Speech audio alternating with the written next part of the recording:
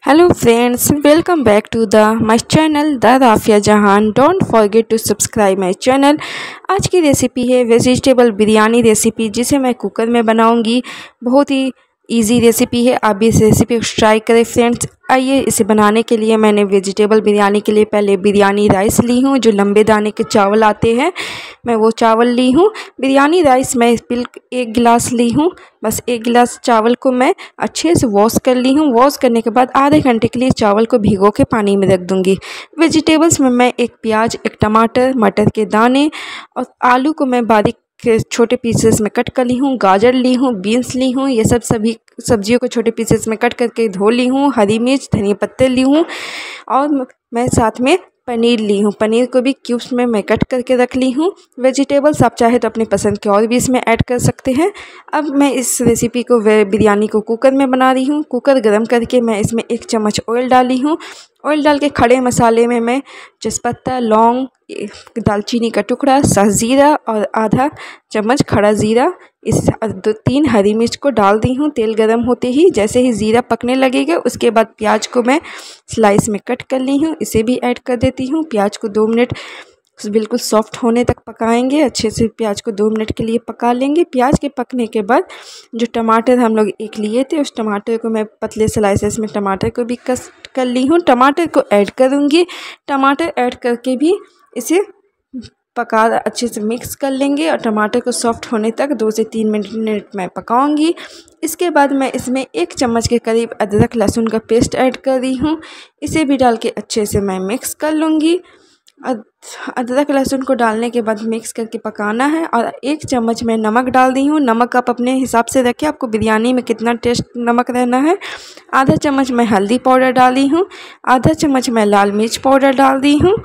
आधा चम्मच मैं धनिया पाउडर डाल दी हूँ। आधा चम्मच मैं भुना जीरा पाउडर डाल दी हूँ। आधा चम्मच मैं गरम मसाला पाउडर डाल दी हूँ। आप चाहे तो गरम मसाला पाउडर की जगह बिरयानी पाउडर भी डाल सकते हैं। मैं गरम मसाला घर का बना हुआ है, इसे डाल दी हूँ। बहुत ही अच्छे से बिरयानी में बहुत ही अच्छा टेस्ट आता है। अब थोड़ा सा मैं पानी डाल के सभी मसालों को 10 मिनट के लिए भूनूँगी।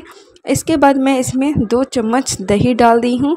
जैसे ही मसाला मेरा दो मिनट भुनाने के बाद मैं दो चम्मच दही डाल के इसे भी ऐड कर के मिक्स करके अच्छे से पाँच से दस मिनट मैं मिक्स भूनते रहूँगी। इसके बाद मैं जो धनिया पत्ता ली हूँ, इसे बारीक कट करके इसे भी ऐड कर दी हूँ मैं। और मैं फ्रेश पुदीना का पत्ता ली हूँ, इसे भी बारीक कट करके पुदीना का पत्ता को इसे भी डाल दी हूँ। पुदीना का पत्ता से बिरयानी बहुत ही अच्छा फ्लेवर आता है। अब इन सभी को अच्छे से मिक्स कर ली हूँ। मसाला भुना चुका है मेरा दस मिनट। इसके बाद जितनी भी वेजिटेबल्स मैं कट करके रखी थी, सभी को धो दी हूँ।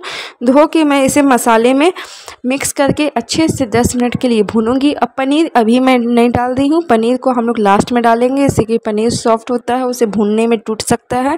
तो पनीर मैं लास्ट में डालूँगी। चावल भी मेरा अच्छे से फूल चुका है। अब वेजिटेबल्स दस मिनट भूनने के बाद मैं इसमें चावल डाल दी हूँ।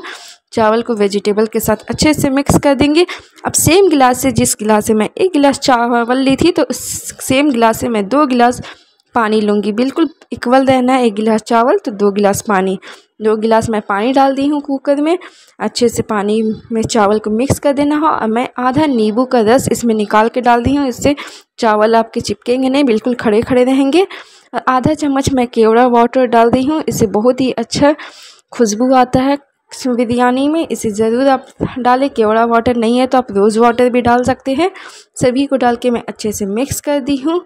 मिक्स करने के बाद अब इसे मैं मैं पनीर डाल दे रही हूँ। जो पनीर हम लोग पहले नहीं डाले थे, अब मैं पनीर ऐड कर दूँगी।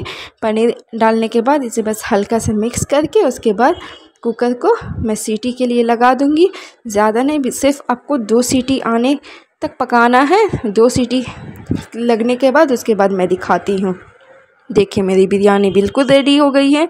सभी सब्ज़ियाँ अच्छे से गल गई है। मैं इसे प्लेट में निकाल के दिखाती हूँ। चावल बिल्कुल लंबे दाने के खिले खिले हुए हैं। बहुत ही अच्छा टेस्ट हुआ था।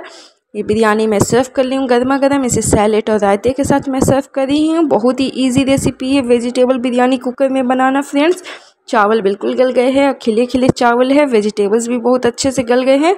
अभी इस इजी रेसिपी को ट्राई करें फ्रेंड्स चैनल्स पसंद आए तो वीडियो पसंद आए तो चैनल को सब्सक्राइब करें वीडियो को लाइक करें शेयर करें अपने फ्रेंड्स फैमिली के साथ.